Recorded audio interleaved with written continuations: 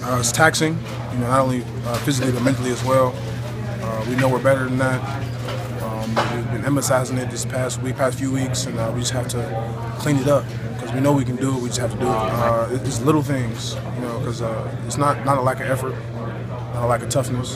It's a lack of, I guess, for lack of a better term, execution. Basically what it comes down to. We know what to do. We just have to execute it the right way. The game plan our coach came up with, and uh, we do that. And we, I think we'll be good.